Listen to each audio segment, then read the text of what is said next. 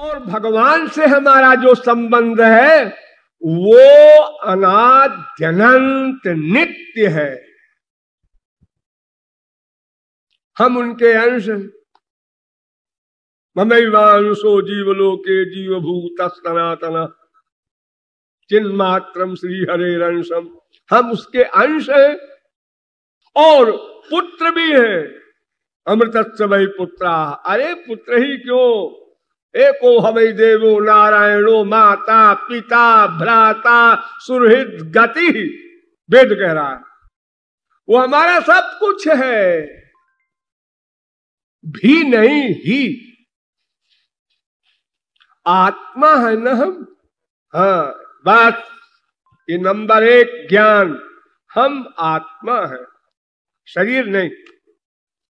जब ये बात आप मान लेंगे तो फिर माँ क्या, बाप क्या, भाई क्या, बहन क्या बीबी क्या, संसार क्या, सब खत्म।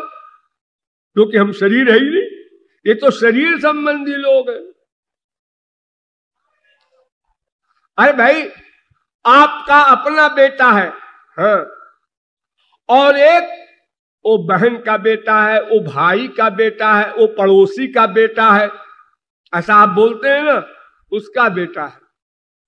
आवारा हो गया हो जाए क्या करना अपना का करता अपना बेटा तो ठीक है, अपना बेटा। जैसे शरीर को मैं मान करके अपने बेटे में ममता रखते हैं, ऐसे आत्मा को मैं मानो तो फिर शरीर के विषय में तुम्हारा कोई टेंशन ही न रह जाए। खत्म। हम शरीर है ही नहीं। तो भगवान से हमारा सब संबंध। लेकिन हम जानते नहीं। हम जानते नहीं। एक कथावाचक लोग दृष्टांत देते हैं, बड़ा अच्छा कि एक बाप ने किसी गलती पर बेटे को डांटा, जो एक झापड़ लगा दिया तो बेटा ने इतना फील किया उसने कि वो भाग गया घर छोड़ के। और बाहर गया और बहुत परेशान हुआ, फिर उसके बाद कुछ काम धाम मिला और बहरहाल उसके बाद दो लाखों कमाया भी। तो जो खूब कमा लिया, जवान हो गया तो उसने कहा, आप चलना चाहिए। हम बाप को ये बताना चाहते हैं कि हम भी कुछ बन सकते हैं। आपने घर से निकाल दिया तो इसका मतलब ये नहीं है कि हम कुछ हो ही नहीं सकते। इस रुआब में जा रहा था। तो जिस अपनी कार से जा रहा था, वो रास्ते में फेल हो गई तो एक शहर में धर्मशाले में रुक गया कि कार बन जाएगी तो सवेरे चलेंगे।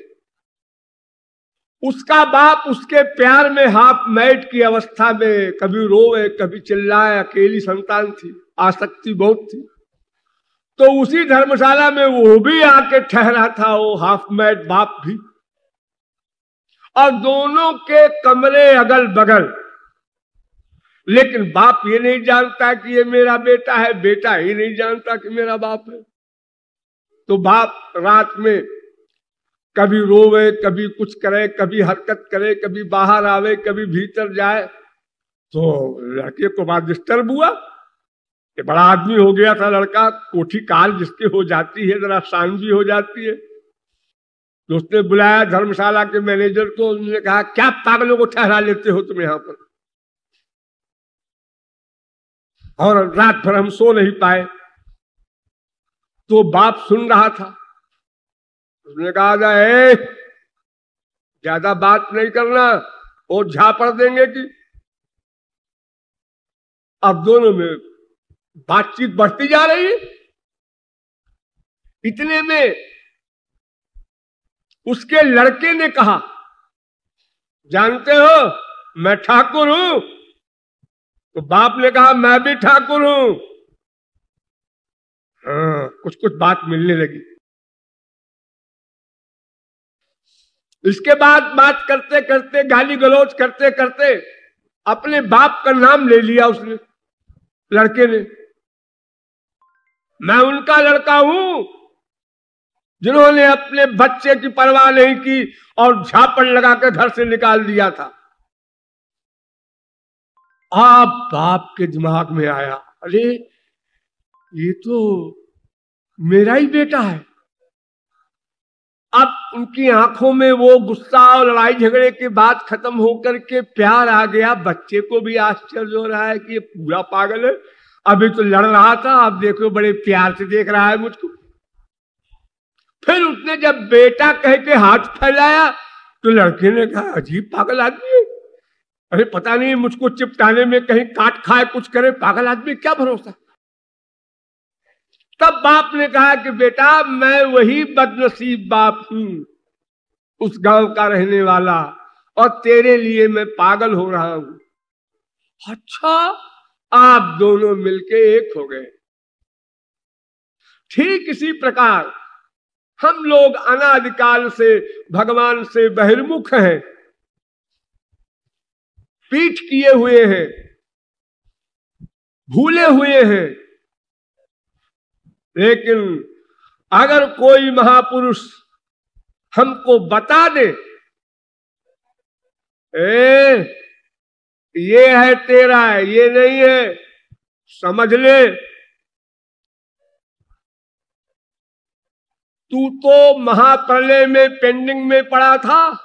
हाँ ये तेरा जो रिश्तेदार है, इसी ने ये संसार बनाया, तुझको भी प्रकट किया।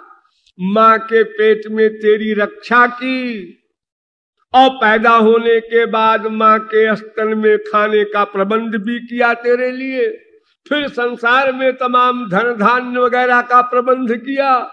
फिर तेरे अंदर जो चेतना शक्ति है, जो बुद्धि में, मन में तत्त कर्म करने की शक्ति है, यही दे रहा है। जन मनसा न मनुते ये नाहुर मनोमतम, तदेव ब्रह्म तम विद्धि।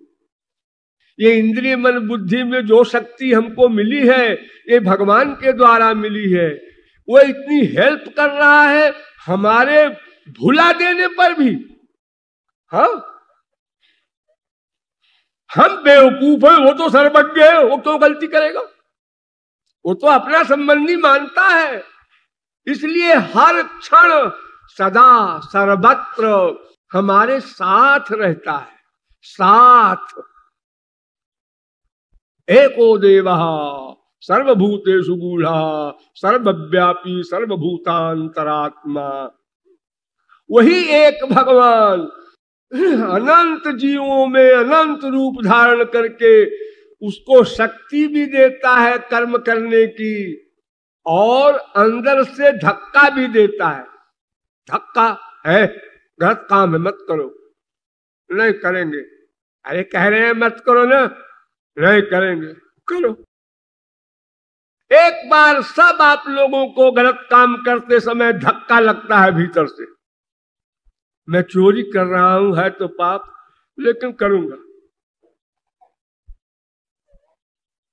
यानी वो अंदर बैठा हुआ हमारे कर्मों का फल भी देता है, कर्मों को भी नोट करता है, इंद्रियों में तत्त शक्ति भी देता है, और जहाँ जहाँ हम जाते हैं साथ रहता है।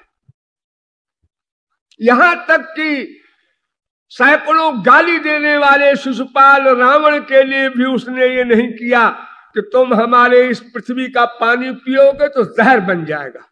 बेटा, पानी पियो, चलो। इसी पृथ्वी का वो पानी पी रहा है, अन्न खा रहा है, इसी वायुमंडल में घूम रहा है, इसी आकाश में विचरण कर रहा है वो रावण, कुंभकर्ण सब। और भगवान ने दुश्मनी नहीं की। संसार में जरा सी गड़बड़ करे, कोई माँ हो, बाप हो, बीबी हो, बेटा हो गेट आउट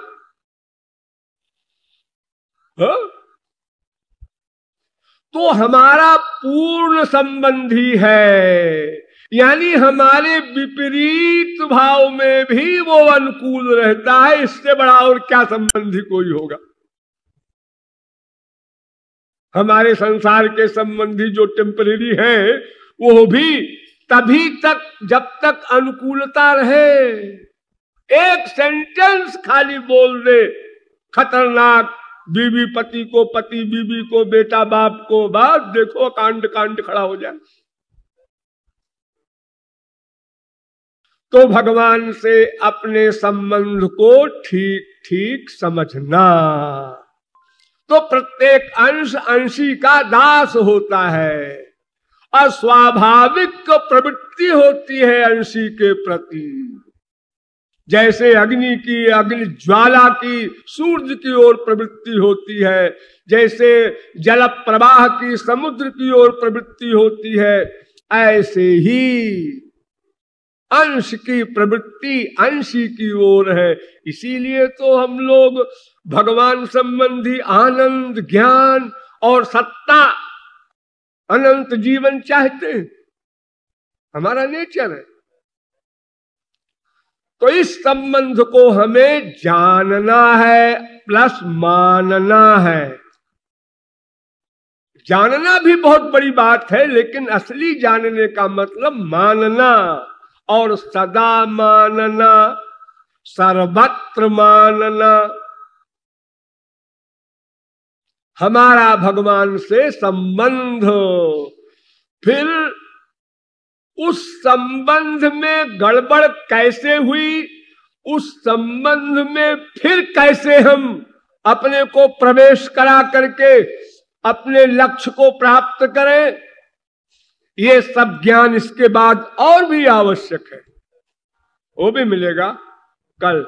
बोलिए वृंदावन बिहारी लाल की।